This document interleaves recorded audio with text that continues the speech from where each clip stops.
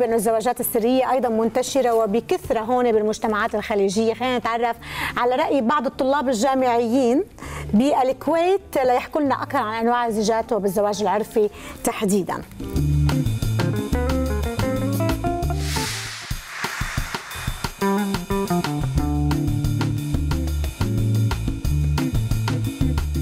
ما أعترف فيه نهائيا. حرام يعني مو مو مقبول بمجتمعنا ما أعتقد إن في أحد يوافق عليه الحين.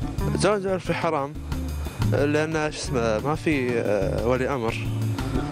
آه، لازم يكون حضور ولي أمر وشهود فهذا مثل الزنا يعني نفس الشيء يعني حالة حال الزنا يعني. طبعا آه، موقف رفض بشدة بعد. انتشر في الفترة الأخيرة و- والكل قام يستخدم هذا ال- ال- الزواج كنوع من ال- يعني كقصد هروب من ال- الحرام. وهذا هو أساسا يعني الزواج العرفي هو أساسا محرم يعني. لا يؤيد ال- الزواج العرفي.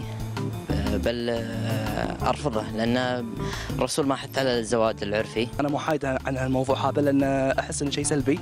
الزواج العرفي لأن يعني الطريقة خطأ. أه، ما أيد فيه كوني طالب جامعي. أه، إذا الشخص حاس إنه هو مو مكون نفسه فما يلجأ حق زواج عرفي بالعكس زواج من الأهل. أه، فأنا أقول إن الزواج من من الباب أحسن من زواج من النافذة.